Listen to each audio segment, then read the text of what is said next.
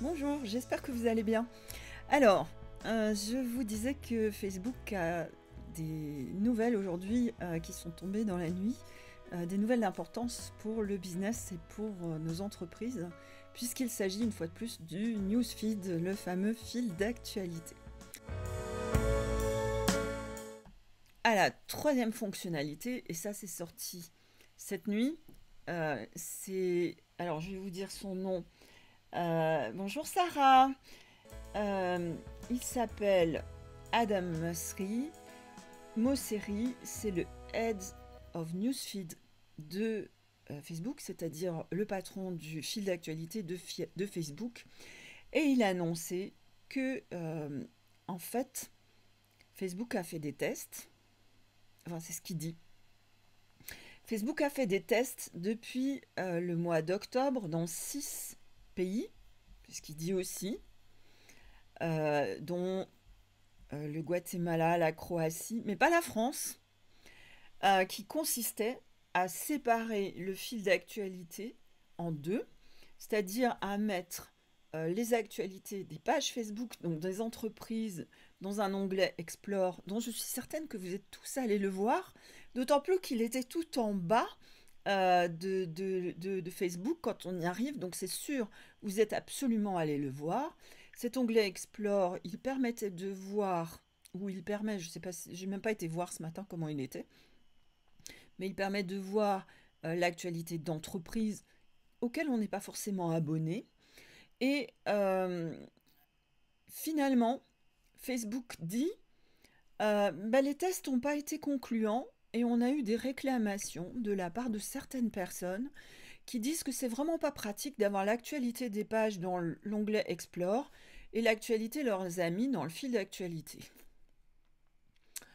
Ok, alors, quand on lit ça, on commence par se dire, bah, c'est plutôt une bonne nouvelle.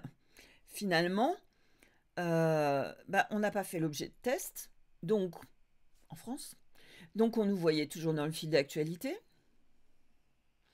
Je sais pas, mais moi je dois pas être excellente, ou alors mon fil d'actualité il est très croate, ou alors depuis la Californie on pense que la France et la Croatie c'est le même pays, ou alors avec le Guatemala, j'en sais rien. Mais euh, en tout cas dans mon fil d'actualité à moi, alors c'est vrai, je suis quelqu'un d'exceptionnel et mon fil d'actualité il est tout à fait particulier. Dans mon fil d'actualité à moi, je voyais plus euh, l'actualité des entreprises. Je voyais quasiment plus de pages Facebook à l'exception de celle qui faisait de la publicité. Est-ce que vous êtes bien comme moi? Est-ce que vous aussi, vous avez fait l'objet de tests, comme si vous étiez euh, croate ou guatémaltèque? J'ai un petit peu du mal à croire que ce test Explore, dont on a tous fait euh, les frais, soyons clairs, n'était qu'un test et qu'il était limité qu'à ces six pays. Mais bon, Imaginons que c'est euh, une bonne manière pour Facebook de dire finalement on a changé d'avis et on va réintégrer les pages Facebook dans le fil d'actualité. Et finalement, si on en est à cette nouvelle-là, on aurait tendance à dire ouais super. En fait, on s'est pris la tête depuis euh, bientôt six mois pour se demander comment on allait faire euh, pour continuer à être vu par nos communautés. Et je vous rappelle que euh, c'est ce que j'appelle moi la quadrature du cercle Facebook, pour laquelle j'ai mis en place une, formation où il reste quelques éléments dont font partie les lives euh, Facebook qui permettent d'être vus et bien vus par sa communauté et remarqué par sa communauté et de continuer à faire vivre son fil, euh, pas son fil d'actualité, mais à faire vivre sa page Facebook, ce qui est quand même bien l'objet, euh, puisque l'objet euh, sur une page Facebook, c'est en tout cas pour nous, entrepreneurs, de maximiser la visibilité en minimisant le budget qu'on investit. Donc évidemment qu'il faut mettre de la publicité, et quelque part ça m'a toujours paru normal. Et, vous le savez, j'ai sauvé ma boîte euh, lorsque j'étais en Guyane avec 40 euros de publicité sur Facebook. On était en 2012. Donc oui, on était au temps des dinosaures sur Facebook en 2012. C'était juste il y a 6 ans, mais c'était le temps des dinosaures. Enfin, c'était il y a 5 ans et demi. Mais il n'empêche que, oui, il faut mettre de la publicité sur Facebook pour que ça soit efficace, mais minimisons ce budget de publicité pour maximiser l'engagement organique. Et là, aujourd'hui, l'engagement organique des pages Facebook, à part quelques éléments que j'explique dans ma quadrature du cercle Facebook, dont font partie les lives et les stories dont on a parlé hier, bah, c'est très difficile d'engager aujourd'hui. Donc, on change euh, de, de, stratégie, euh, puisque, en fait, je vous rappelle ce que disait Mark Zuckerberg le 31 janvier 2018, donc il y a un mois, 30 jours. Une des choses les plus importantes que nous faisons est de nous assurer que nos services ne sont pas simplement amusants à utiliser, mais aussi bons pour le bien-être des gens et pour la société dans son ensemble. Cette année, on a déjà annoncé quelques mises à jour importantes. La première est la priorisation des interactions sociales significatives sur la consommation passive de contenu. Et en fait, euh, c'était le prétexte il y a un mois pour dire euh, ben finalement on va diminuer la présence dans le fil d'actualité, dans le newsfeed des pages Facebook. On va minimiser l'impact de la vidéo parce qu'on considère que c'est une expérience passive que de regarder une vidéo, à l'exception des lives où euh, on considère que les lives favorisent les interactions et c'est une vraie réalité. Euh, la preuve, on est en train là euh, de, de, parler ensemble. Euh, et je, jette juste un, petit œil pour voir si vous avez des, questions. Et bien entendu, je vous invite à, les mettre ici en dessous de cette, de cette publication. On est là pour discuter ensemble. Je ne suis pas là pour vous dire la vérité vraie. Vous imaginez que ce que j'ai appris ce matin, euh, j'ai pas la vérité vraie. En tout cas, j'ai pas cette prétention là. Je suis juste en train de réfléchir à qu'est-ce que ça peut donner sur nos pages euh, Facebook, nos pages de business. Moi, ce qui m'intrigue, et c'est ce que je dis depuis un moment, j'arrive pas à comprendre la stratégie de Zuckerberg qui consiste à dire euh, je prive de visibilité les gens qui me payent. Parce que finalement, c'est nous, les entreprises, euh, qui faisons une part des bénéfices de Facebook en étant annonceurs et en payant de la publicité il y a quelque chose qui pour moi est incohérent, mais c'est peut-être parce que je suis pas euh, le patron de la stratégie de Facebook, et puis je voudrais pas de ce job-là. Euh, mais dans, dans, la stratégie, il y a quelque chose qui m'échappe. Et c'est de dire, mais comment on fait pour mécontenter autant les gens qui nous génèrent nos bénéfices finalement? Parce que quelque part, euh, je pense que cette tactique de minimiser la présence des pages Facebook dans le fil d'actualité, elle est contrariante pour nous euh, qui gérons des pages Facebook. C'est pas la meilleure manière de nous, de nous, proposer une expérience client inoubliable, il me semble. Donc il y a, y a un hiatus pour moi que j'ai toujours pas levé même si je sais aujourd'hui comment faire pour engager et pour engager ma communauté sur ma page Facebook et sur celle de mes clients. Mais il y a une visibilité en termes de stratégie que j'ai pas. Et puis on fait une annonce euh, début janvier ou, fin janvier où on n'arrête pas de dire mais finalement ah bah c'est ça les pages Facebook euh, quand c'est organique et puis euh, point de salut en dehors de la publicité, du live, des stories et de quelques autres fonctionnalités, ok? Puis là, tout d'un coup, on change, me semble-t-il, de stratégie. Et on dit, ah ben finalement, on s'est trompé. Les tests, ils étaient que dans six pays. Euh, ouais. Et puis, on va réintégrer les pages dans le fil d'actualité et dans le newsfeed. Ok. Alors, super. Mais n'oublions pas ce que disait Mark Zuckerberg. Et il disait, la première euh, mise à jour et la priorisation des actions sociales, des interactions sociales significatives sur la consommation passive de contenu. Donc je pense qu'on n'a pas fini d'avoir du nouveau sur Facebook. Je pense qu'on n'a pas fini euh, de se prendre un petit peu la tête et euh, de se demander à quelle sauce on va être mis, nous, les entrepreneurs sur Facebook. Donc, je pense que c'est une bonne nouvelle finalement, cette modification euh, du fil d'actualité. En tout cas, Facebook qui dit euh, dans, dans l'annonce euh, de, son, de son directeur du newsfeed, On dit, euh, on a eu des réclamations, on a entendu euh, des personnes qui disaient que finalement c'était pas bien que le fil d'actualité des pages soit dans cet onglet Explore et que ça soit séparé. Donc c'est plutôt une bonne nouvelle.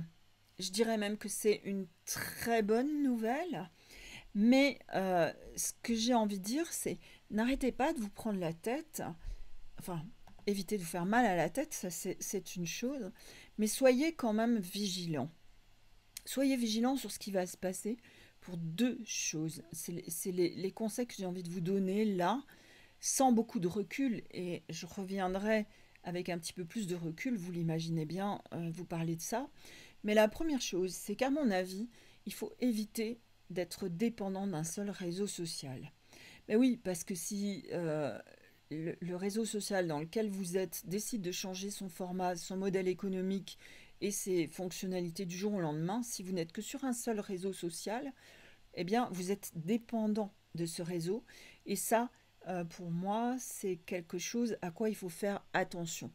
Donc, je pense que si vous ne l'avez pas encore fait, euh, choisissez déjà de centrer vos actions sur votre euh, site web et ou blog, puisque c'est là que vous êtes maître chez vous, sauf évidemment si votre fournisseur d'hébergement se casse la figure ou ferme les robinets, mais là le risque il est moindre que des risques de changement d'algorithme, et c'est bien ça qui doit être central, même pour moi qui suis euh, community manager et qui passe ma journée sur les réseaux sociaux, j'ai toujours pensé que le blog et le site web devaient être central et qu'ils devaient être alimentés par les réseaux sociaux. Je dis bien les, je dis pas qu'un seul. Et faites attention à ceux que vous choisissez, qui ne soient pas euh, dans le même groupe. Pardon. Si vous êtes sur Instagram et sur Facebook, vous êtes toujours dépendant euh, de l'algorithme.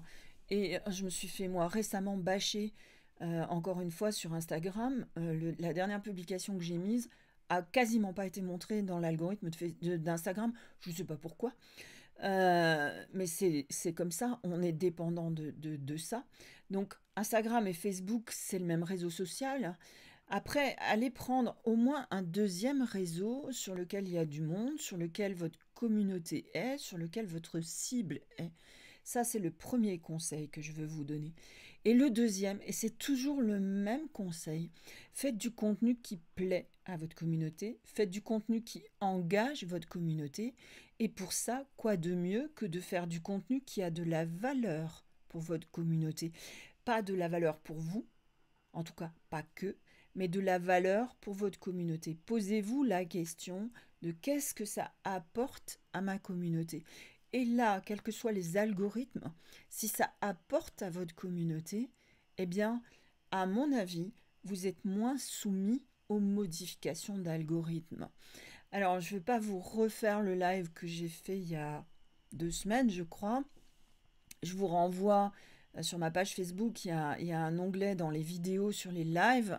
Euh, je vous ai longuement parlé du Brain Score, euh, donc cette manière de se poser des questions euh, pour être sûr, avant de publier quelque chose, que ce que l'on publie a vraiment de la valeur pour sa communauté et lui apporte une vraie valeur ajoutée, quelque chose d'important pour elle. Je crois que c'est vraiment euh, la philosophie à, garder présente à l'esprit tout le temps sur les réseaux sociaux. Voilà, je, regarde euh, si vous avez des, des réflexions, des interrogations. Je vous prie de m'excuser, je vous quitte du regard, mais je regarde sur un deuxième écran, c'est plus facile pour moi. Euh, dites-moi, sinon, eh bien, euh, je crois qu'on va euh, arrêter là ce, live. Je ne vais pas vous prendre plus de temps, en tout cas pas, pas aujourd'hui. je crois que c'est intéressant aussi d'expérimenter, de voir ce qui va se passer dans les prochains jours. Euh, je crois aussi qu'il faut rester sur sa ligne éditoriale qu'on s'était fixée et garder des choses constantes. Pas zapper d'une manière à l'autre de faire, parce que sinon votre communauté, elle va plus rien comprendre. Et finalement, euh, quel que soit l'algorithme, c'est votre communauté qui est euh, le gardien du temple, qui est l'indicateur de est-ce que ce que l'on fait est, bien ou, pas bien et, c'est à elle que vous parlez, c'est pas à l'algorithme. Quel qu'il soit l'algorithme, finalement l'algorithme, il sert simplement à essayer de maximiser l'expérience fan inoubliable, comme je dis parfois, euh, au lieu de parler d'expérience client inoubliable. Voilà. Écoutez, merci d'avoir été là pour ce live euh, impromptu. Je vous retrouve euh, rapidement, pas la semaine prochaine, pas jeudi qui vient là à 14h07. Je vous l'ai dit hier, je, prends quelques jours de break, mais jeudi de la semaine d'après, donc ça sera le 8 et 7, 15 mars à 14h07 toujours, comme tous les jeudis à 14h07. Euh, je vais encore réfléchir au sujet que l'on traitera. Je vous l'ai dit hier, ce sera peut-être un live sur les lives, mais j'ai encore d'autres, idées. Je vous souhaite en tous les cas une très belle fin de journée et je vous dis à très bientôt et un énorme merci d'avoir été là. Bonne journée à vous